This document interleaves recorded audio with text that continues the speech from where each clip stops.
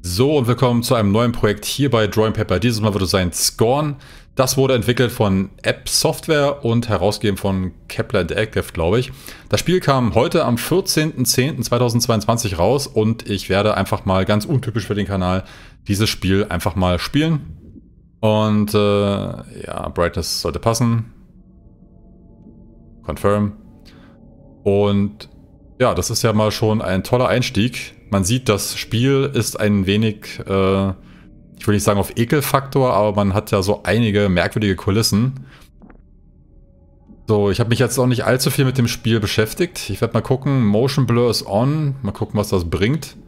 Audio ist Cinematic Mix. Okay, das lassen wir einfach mal. Language ist Englisch. Ich glaube, mehr gibt es ja auch gerade gar nicht. Dann nehmen wir mal New Game. Und es geht direkt los. Cool.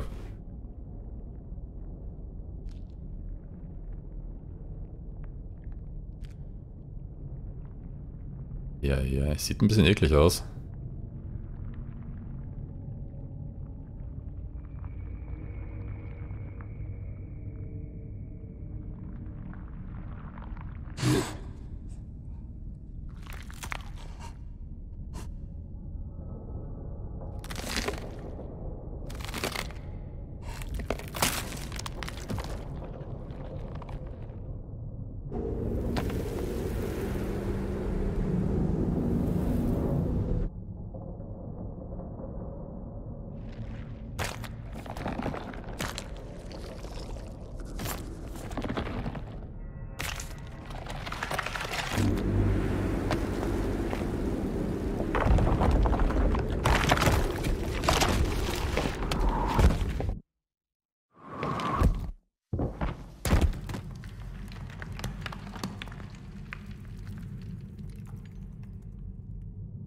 Okay, ich habe jetzt gerade überhaupt nicht mitbekommen, was passiert ist. Also die Ansichten haben ein paar Mal gewechselt. Das heißt, wir sind zwischen irgendwelchen Welten von den Erinnerungen hergesprungen, oder? Auf jeden Fall haben wir uns von irgendwas jetzt gerade befreit, als wären wir absorbiert worden oder so. Und wir haben uns jetzt von diesem Prozess befreit. Ich bin nicht ganz sicher. Der Controller vibriert auf jeden Fall wie Sau gerade. Ich spiele es übrigens auf der Xbox One Series S. Also das heißt, die Grafik wird wahrscheinlich jetzt nicht so der Bringer sein wie auf dem PC.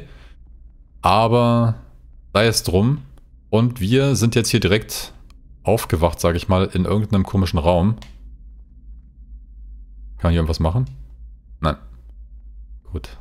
Kann man rennen? Ja, kann man. Ganz typisch auf der LB-Taste können wir das Ganze beschleunigen. Und ja, ihr seht schon, der Stil von dem Spiel ist eher so organisch gemischt mit Technologie und alles sieht sehr, sehr dreckig aus.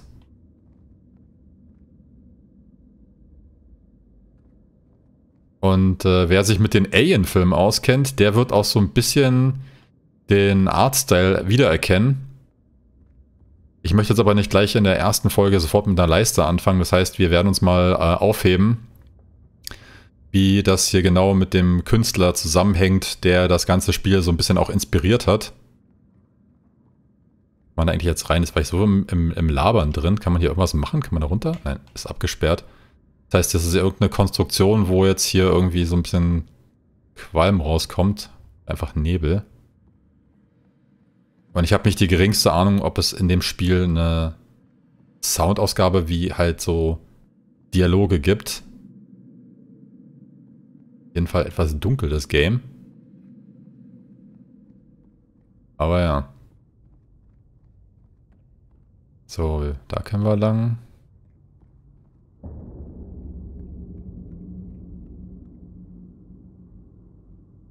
Es sieht echt weird aus, das Ganze. So, da geht's lang. Gucken, ob wir hier weiter können oder ob die Tür auch versperrt ist. Nein, die Tür ist versperrt natürlich.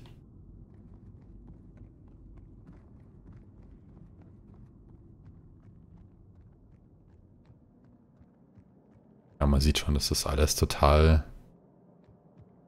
merkwürdig vom, vom Aussehen her. Ich bin noch nicht sicher, ob wir jetzt hier auf so einer Art Erde sind oder sind wir jetzt auf irgendeinem anderen Planeten oder was genau ist hier eigentlich gerade Sache.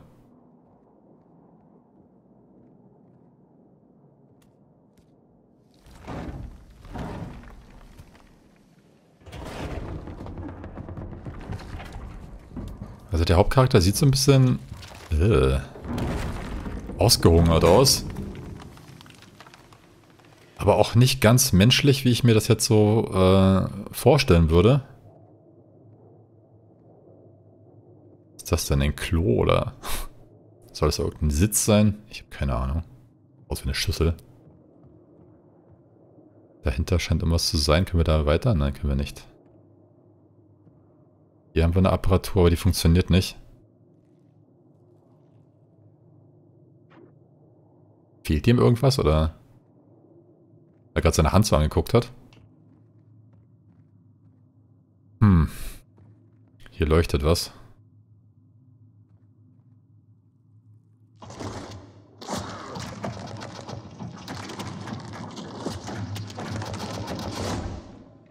Au. Zum... Ein Assassine. Gut, er hat jetzt irgendwas, womit er wahrscheinlich irgendwelche Mechanismen bedienen kann. Vielleicht braucht er diesen Stab, sage ich mal, den er jetzt aus, seinem, aus seiner Hand ausfahren kann, um das hier zu bedienen. Okay.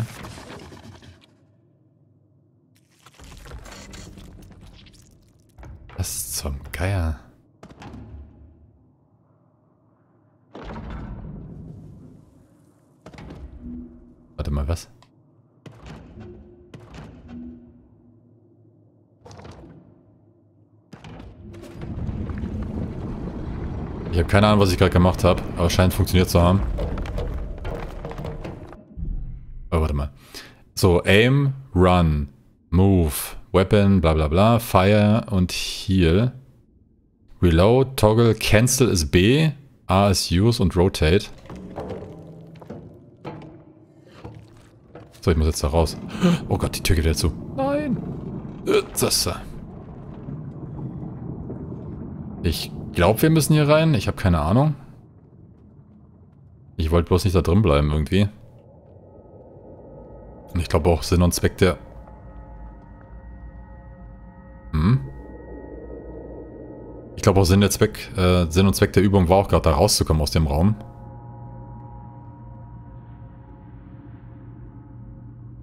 Ich habe mich jetzt einfach mal bewusst für die Konsole entschieden, weil ich jetzt irgendwie gehört hatte, dass auf dem PC irgendwie noch so ein paar Probleme mit den mit den FPS waren. Und jetzt bin ich mir nicht ganz sicher, ob es jetzt besser läuft auf der Series S, aber bis jetzt scheint es irgendwie ganz gut zu gehen.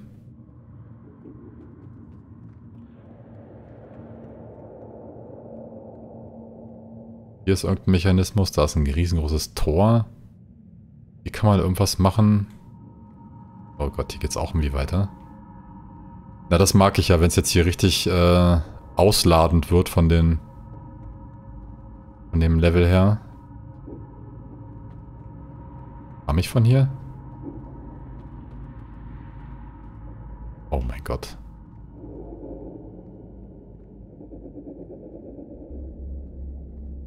Bin ich überhaupt auf einem Planeten oder bin ich vielleicht sogar auf irgendeinem Raumschiff? Ah, das bin ich, oder?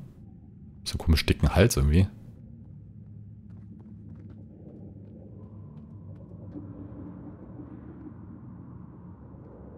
Sieht auch, als wären das irgendwelche Pots. Das Licht. Hier können wir nichts machen. Das ist einfach nur wahrscheinlich eine Beleuchtung, damit der Gang nicht zu dunkel wird.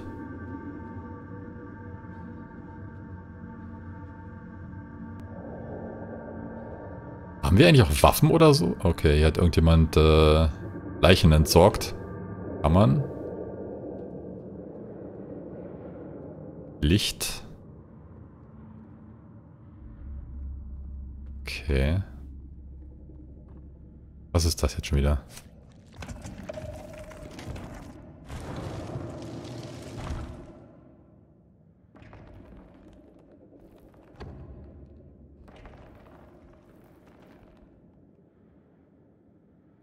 Okay.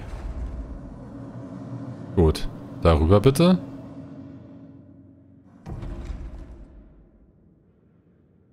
Und irgendwas greifen. Was nicht da ist. Gut, wir müssen halt irgendwas da reinpacken, was er greifen kann und dann auf die andere Seite packt. Gut. Das hier?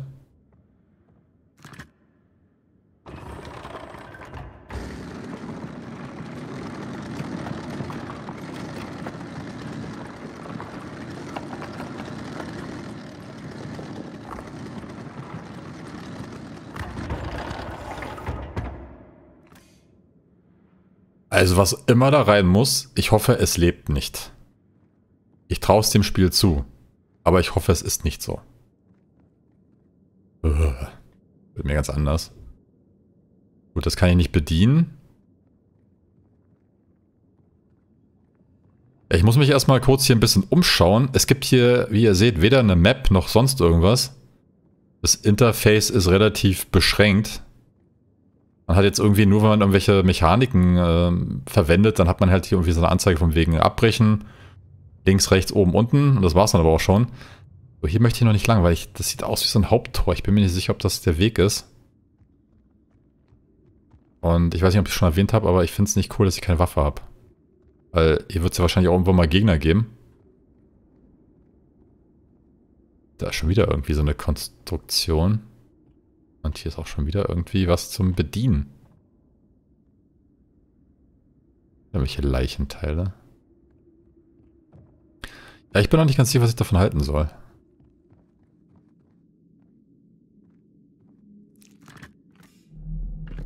Jetzt sag mir nicht, es gibt noch ein Stockwerk.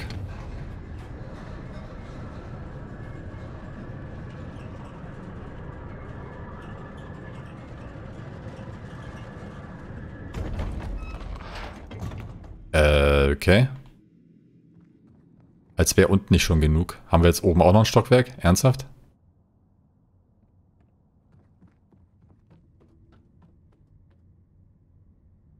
Ist das alles? Ich hier geht's nicht weiter. Sieht aus wie eine Fleischlore oder sowas. Krasse Sache. Also der, der Style von dem Game ist auf jeden Fall merkwürdig. Aber da wusste ich auch, worauf ich mich einlasse. Weil, äh, wie gesagt, der Künstler, der das Spiel ein bisschen geprägt hat, hat sich auch äh, in den Alien-Filmen verewigt. Der hat nämlich an dem Design von dem Alien mitgewirkt.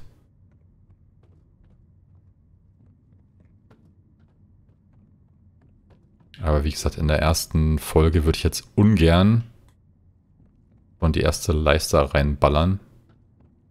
Mach ich dann einfach im zweiten Video oder so. Ja, okay, gut. Also es, pff, es ist weitläufig ohne Ende. Oder bin ich jetzt im Kreis gelaufen? Ich glaube, jetzt bin ich im Kreis gelaufen. Da muss ich beide Hände nehmen. Dann kam ich also von hier, oder? Ich kam jetzt von hier. Da müsste irgendwo die komische Lore stehen? Oder ist das jetzt wieder einfach ein neuer... Be Ey, das ist echt... Keine Ahnung. Ich laufe mal kurz hier runter.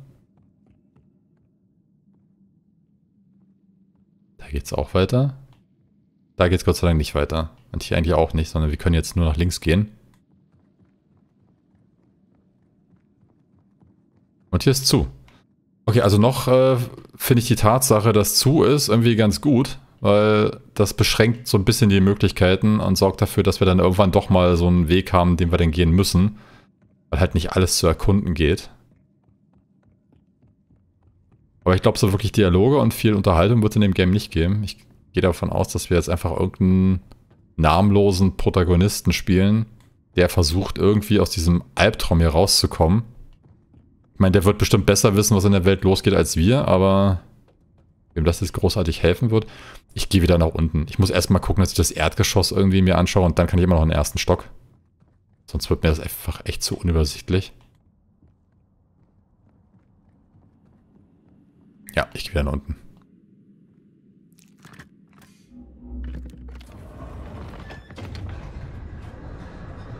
Ja, ich bin auch so eine Spiele nicht gewohnt, wo so einfach gar keine äh, Karte einbauen und man so ein bisschen ziellos durch die Gegend läuft. Die nehmen einen in dem Spiel aber auch nicht an die Hand so wirklich. Also, ich meine, das ist eh gut, weil ich meine, die meisten Games da draußen haben halt irgendwelche Pfeile und Beschreibungen, wo man hinlaufen muss und nehmen einen so richtig an die Hand und führen einen schon zum Ziel. Macht das Spiel jetzt eigentlich nicht so wirklich. Okay, wir müssen irgendwas da... Ist das? Sah aus wie so ein komischer Nebel gerade. Also vor uns rumgetanzt ist. Ja, also wow, ich habe keine Ahnung. Ich gehe mal kurz hier hoch.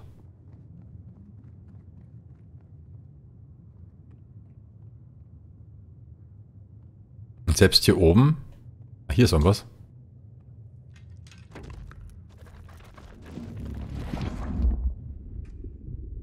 Was ist los?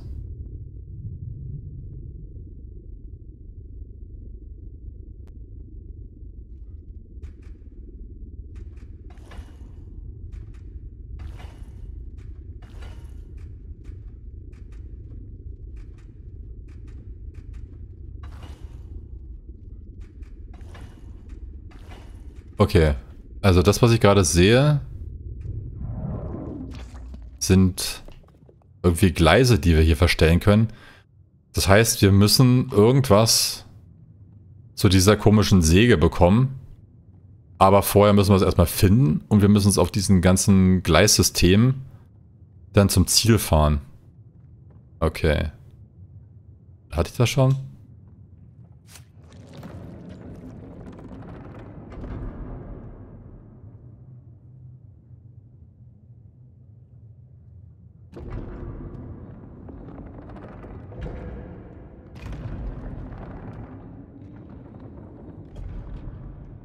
Ja, okay.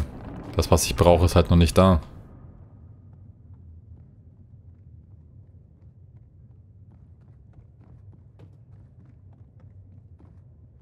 Ein bisschen lost gerade. Kann sein, dass ich auch gerade wieder zurückrenne. Ja, hier war ich schon. Hier war ich auch schon. Hier war ich auch schon. Okay, das heißt, hier bin ich jetzt wieder in einem Areal, was ich schon kenne. Das heißt, jetzt, jetzt wird es langsam in Anführungszeichen übersichtlicher.